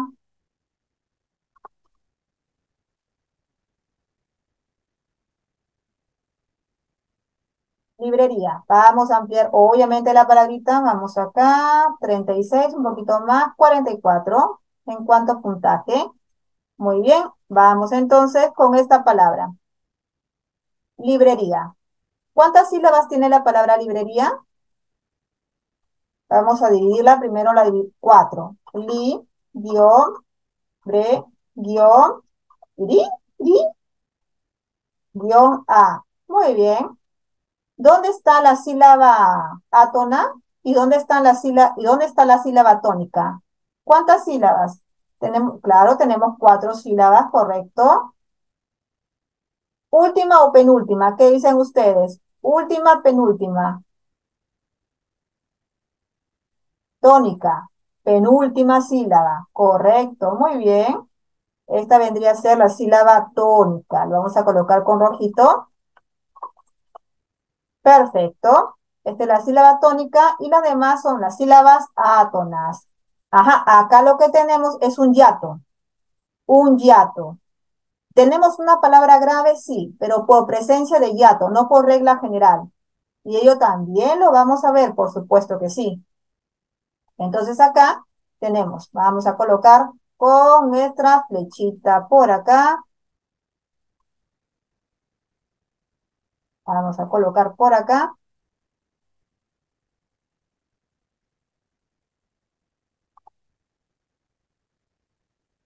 Sílaba tónica. Tónica, muy bien. Y además, las que carecen de la elevación son sílabas átonas. Suficiente con colocar qué sílaba tónica. Se sobreentiende que las demás serían las sílabas átonas. La regla es siempre dividir la palabra en sílabas a través de los guiones. Luego nosotros vamos a ver dónde está la mayor fuerza de voz y en función a las reglas es que vamos a ver si lleva tilde o no lleva tilde. Ahora, dicho esto, tenemos acá en pantalla las famosas palabras agudas, llanas y estrújulas. Déjenme decirles lo siguiente. Con respecto a las palabras agudas, llanas, estrújulas o agudas, graves, estrújulas y sobreesdrújulas, tenemos únicamente dos reglas. A veces nosotros pensamos que tenemos, sí o no, cuatro reglas y no es así. Tenemos, y lo vamos a titular de esta manera, reglas generales de acentuación. ¿Se acuerdan que les hablaba antes del famoso método SEGA? Pues bien, no les voy a hablar del método SEGA porque en este momento no es necesario. Simplemente vamos a indicar, vamos, el nombre que le corresponde. Son reglas generales de acentuación.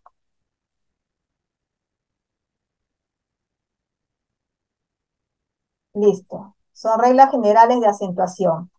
Y acá, si bien es cierto, podemos decir llanas, claro que sí, Generalmente nosotros decimos graves. Perfecto, graves. Vamos a colocarlo por acá. Graves. Agudas, graves, esdrújulas y nos faltan las sobresdrújulas, ¿sí o no? Graves o llanas, graves o paroxítonas, agudas u oxítonas, por supuesto que sí. Tenemos esdrújulas, ¿qué es lo que pasa? ¿Por qué les digo que solo tenemos dos reglas, porque las esdrújulas y sobresdrújulas siempre se... Faltan las sobresdrújulas, ¿sí o no? Pero las esdrújulas y sobresdrújulas siempre se tildan. Siempre se tilda. Por eso lo que vamos a hacer acá es con un aspa, vamos a colocar una pequeña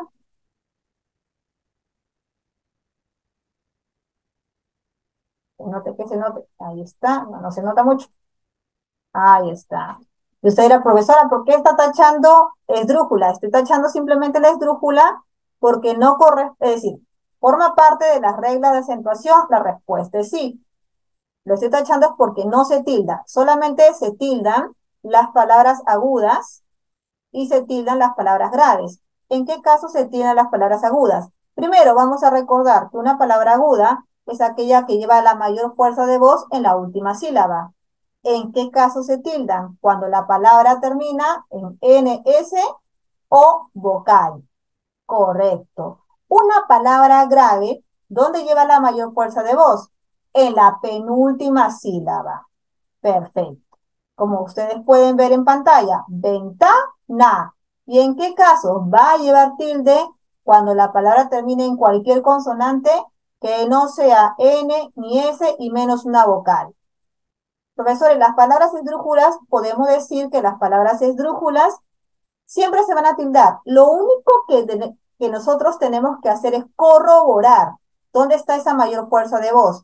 Y la mayor fuerza de voz con relación a una palabra esdrújula tiene que recaer acá, en la antepenúltima sílaba y automáticamente nosotros tildamos música.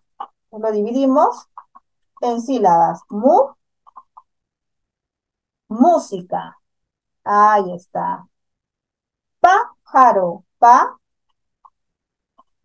pájaro. Mayor fuerza de voz. Última, penúltima, ante penúltima sílaba. Entonces lo que vamos a hacer es resaltar ante penúltima sílaba, ante penúltima sílaba, no podemos decir, ¿dónde está la mayor fuerza de voz? En mu. No, no es en mu, es en la antepenúltima sílaba.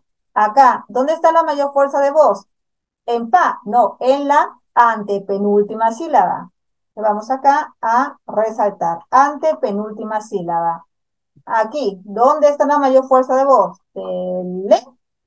no. Última, penúltima, antepenúltima sílaba, ¿verdad? Y automáticamente, ¿qué es lo que vamos a hacer? Tildamos. ¿Nos fijamos en qué termina la palabra? No, no nos fijamos en qué termina la palabra. Lo único que nosotros hacemos es verificar que la mayor fuerza de voz vaya a recaer en la antepenúltima sílaba y automáticamente tildamos. Por eso es que no hay regla para tildar las palabras estrújulas. Pero hay otro detalle. ¿Sabían ustedes que las palabras esdrújulas son pocas en nuestro castellano? Por ese motivo es que no hay una regla en particular, porque son pocas las palabras esdrújulas en nuestro castellano. Profesora, ¿y las sobresdrújulas? Ajá, muy bien.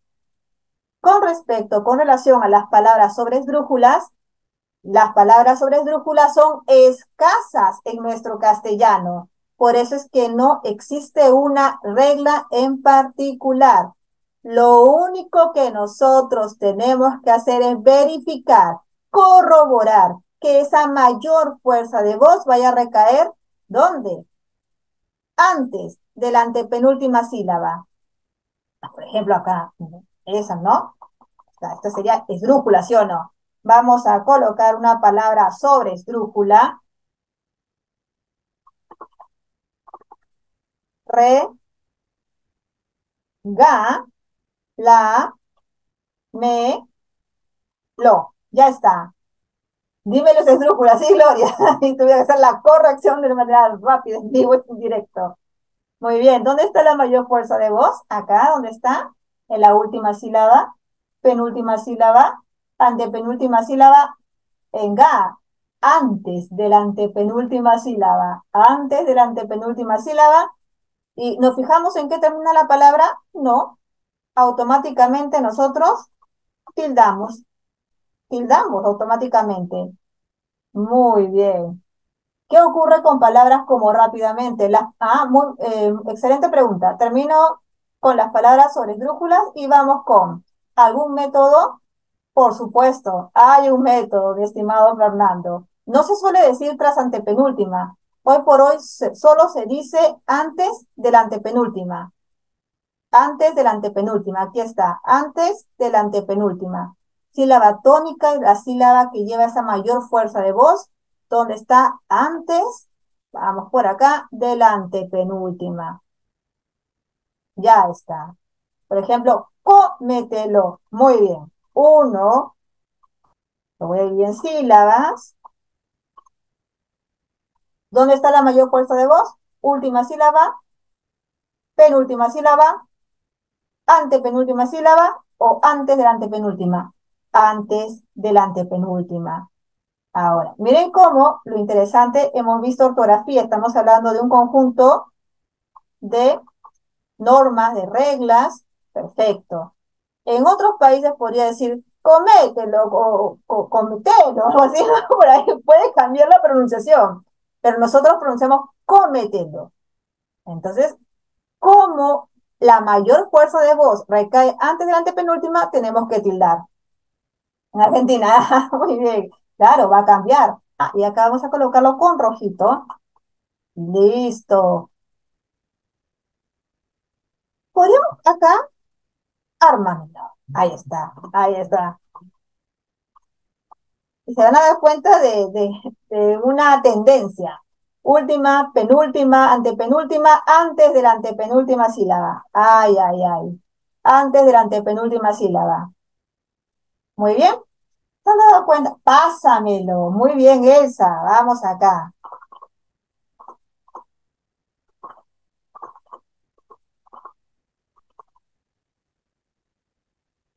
Listo, ahí está. Excelente aporte. Mayor fuerza de voz. Última, penúltima, antepenúltima sílaba, ¿verdad? Acá está. Vamos a colocarlo por acá. Ya, listo. Muy bien. Ahora, guárdamelo. También, por supuesto que sí. Guarda, me y lo. Ya está. Última, penúltima, antepenúltima, antes de la antepenúltima. Excelente. Ahora, no, murciélago Úrsula viene a ser una palabra esdrújula. Murciélago, esdrújula, esdrújula. Así es, mi estimada Melita. Te has dado cuenta que acá hay un detalle y les voy a contar la historia de las palabras sobre esdrújulas. ¿Hay una historia? Por supuesto que sí. Vamos acá. Vamos aquí. Vamos por este lado. Y esta es la historia de las palabras sobre esdrújulas. ¿Por qué son escasas en nuestro castellano las palabras esdrújulas? Porque están supeditadas a una fórmula. Así es como lo están escuchando. Estamos hablando de una palabra que está supeditada a una fórmula. Verbo más pronombre más pronombre. Vamos a colocar acá la fórmula. Verbo más pronombre más pronombre. Y usted dirá, profesora, ¿cómo que está supeditada una fórmula? Por favor, necesito que me lo explique. O que lo explique. No se preocupen. Son los llamados enclíticos. ¿Y por qué enclíticos? Porque nosotros podemos desglosarlo. Podemos decir, guárdamelo o me lo guardas. Podemos decir, pásamelo o me lo pasas. Podemos decir, ármamelo o me lo armas. Podemos decir, cómetelo o te lo comes. Podemos decir, regálamelo o me lo regalas. Por eso es que está supeditado a una fórmula y cuando hablamos de verbos estamos haciendo referencia a los verbos que terminan en ar, ir. Y lo vamos a corroborar, lo vamos a corroborar, no se preocupen. Vamos acá con calma, con paciencia, van a ver que estamos avanzando muy bien. Estamos por buen camino. Ar, terminación er, terminación ir. Por ejemplo, regálamelo del verbo regalar, terminación ar. Cómetelo del verbo comer, terminación er. Ármamelo del verbo armar, terminación ar. Pásamelo del verbo pasar. Muy bien, terminación ar. Guárdamelo del verbo guardar, terminación A. Entonces tenemos que corroborar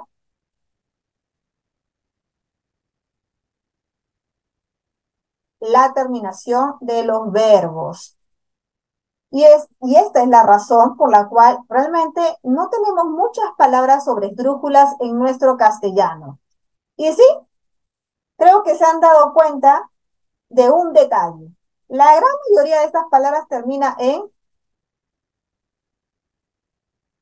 me, el lo, y hasta ahí nomás lo voy a decir, correcto. Estamos en horario de protección al menor porque son esas terminaciones. Sí, tienen estas terminaciones. Acá, acá están las terminaciones. Ay, ay, ay. Estas son las terminaciones. Sin embargo, siempre nosotros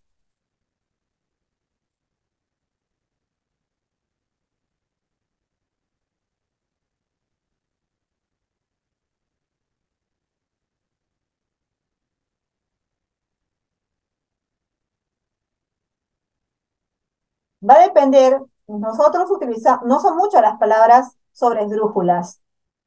Por ejemplo, nosotros decimos, a ver, regálamelo, sí, sí o no, sí pronunciamos esa palabra. Pásamelo, sí lo pronunciamos.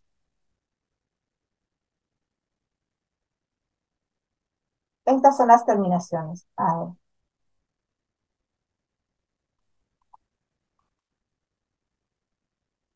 Por ejemplo, tenemos cultívesele. Vamos a colocar una más. Del verbo cultivar, terminación ar. Elevándoseme, del verbo elevar, terminación ar. Pero son palabras rebuscadas. ¿Por qué? Porque están supeditadas a la fórmula. Ahora sí. Hasta acá. Quisiera saber si ha quedado claro lo relacionado a palabras agudas. Las reglas más que todo van con las palabras agudas, mayor fuerza de voz, última sílaba, y se tildan cuando estas terminan en NS vocal. Graves o llanas, mayor fuerza de voz, penúltimas sílabas, y se van a tildar cuando las palabras terminen en cualquier consonante que no sea NS vocal. Y las esdrújulas sobre esdrújulas siempre se tildan. Lo único que tenemos que revisar es lo siguiente. Una esdrújula se tilda cuando la mayor fuerza de voz termina, no, la mayor fuerza de voz recae ¿dónde? En la última, penúltima, antepenúltima sílaba. Y una sobresdrújula, la mayor fuerza de voz recae en antes de la antepenúltima sílaba. Y ahora les voy a explicar lo siguiente. Ay, ay, ay. Y lo siguiente va de la mano con una palabra que ustedes han indicado son las que terminan en mente. Son reglas especiales de acentuación. Esto es lo bonito, porque Gracias a sus preguntas podemos avanzar, podemos ver otros, otros tópicos y evitar una separación que no corresponde. Reglas especiales de acentuación. Ah, vamos a... Veamos de esta manera.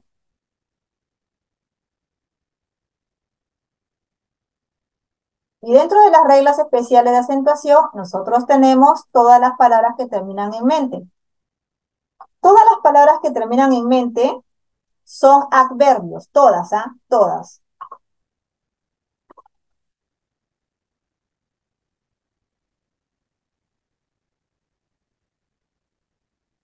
Terminan en el sufijo mente son adverbios, todas. vamos a colocar por acá. Vamos a agrandar tipo de letra, por supuesto que sí. Y lo vamos a consignar por acá. Son adverbios. Ahora, ¿cómo se trabaja? trabaja de esta manera. A ver, ustedes han colocado únicamente, ¿verdad? Muy bien, vamos acá. Vamos con la palabra únicamente. Únicamente. ¿Listo?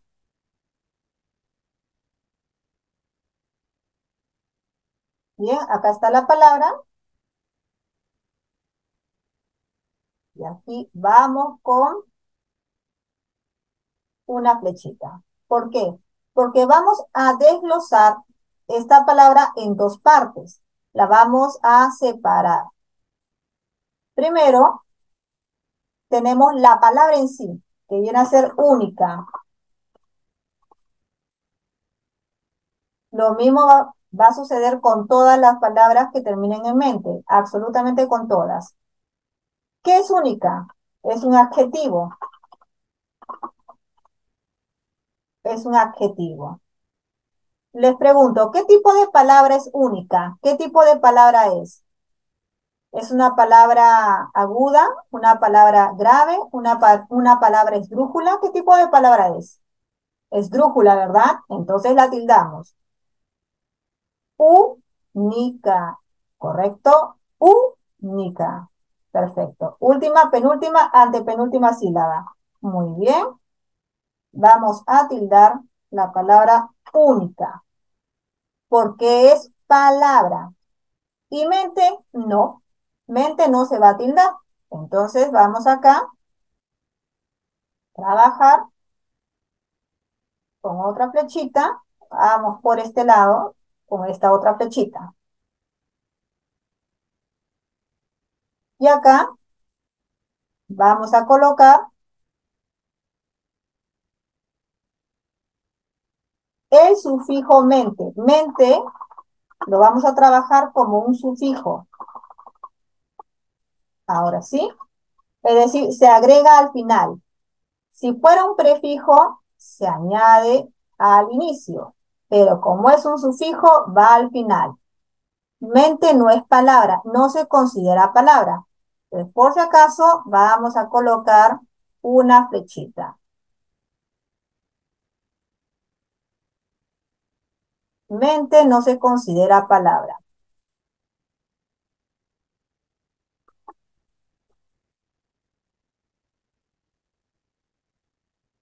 No se considera una palabra. Entonces, ¿qué es lo que vamos a hacer?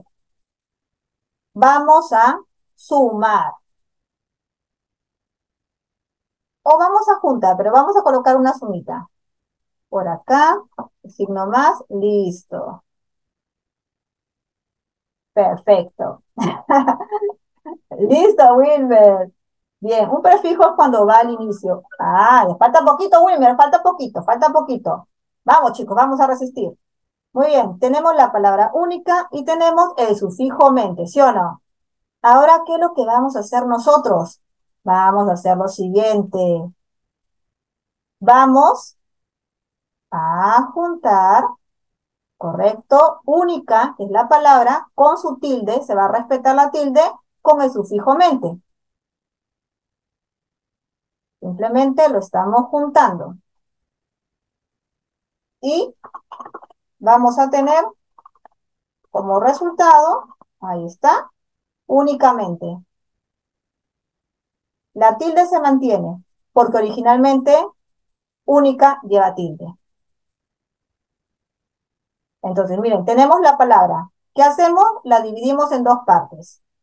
La primera parte, que viene a ser siempre un adjetivo, siempre va a ser adjetivo. Y la segunda parte, que es un sufijo.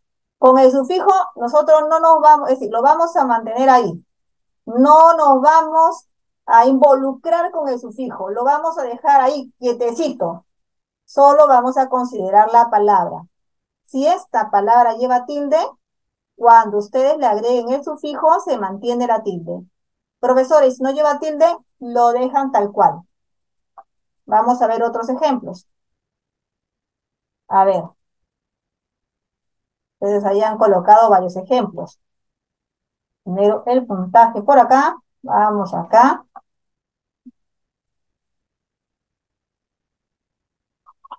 A ver, rápidamente, ¿lleva tilde?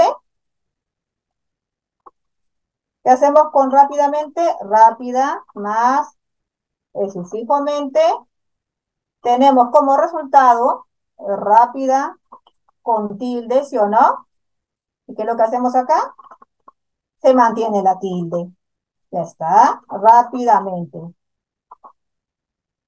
¿Las mayúsculas se tildan? Por supuesto que sí, Lorena. Todas las palabras Todas las palabras escritas en altas o con letras mayúsculas se tildan si le corresponde la tilde. Por ejemplo, a ver, a ver, a ver, ¿qué otra palabra? Ágilmente, ya está. Ágil, más el sufijo mente. Tenemos ágilmente. Ágil, ¿se tilda? Sí, la palabra ágil es una palabra grave. Se tilda la palabra ágil. Entonces, ¿qué es lo que pasa? Se mantiene la tilde. Ahí está. No, eh, Roberto, esa palabra eh, es una sola, comúnmente, difícilmente. Una palabra sutilmente, por ejemplo, miren, sutil, ¿qué palabra es? Aguda. Pero sutil lleva tilde? No, porque termina en L. Una palabra aguda se tilda cuando termina en NS o vocal. Muy bien, entonces ¿Qué pasa cuando lo juntamos con el sufijo? No pasa nada. Como la palabra base no lleva tilde, electrónica, electrónica es una palabra esdrújula. Muy bien. Lógicamente, correcto. Prácticamente, muy bien. Mente sigue siendo un, no se olviden, es un sufijo. No se va a, en lo más mínimo, no se va a alterar. Y lo que estamos viendo forma parte de las reglas especiales de acentuación, ¿ah? reglas especiales. Entonces, vamos a dividir la palabra de esta manera. A partir de ahora, por supuesto, si nos dicen que lo dividamos de esta manera, por ejemplo, fa, la respuesta es no. De esta manera no vamos a dividir la palabra porque no está sujeta a las reglas. Acá lo vamos a tachar. Tachamos por acá y lo vamos a tachar por acá. Vamos a colocarle su contorno de forma.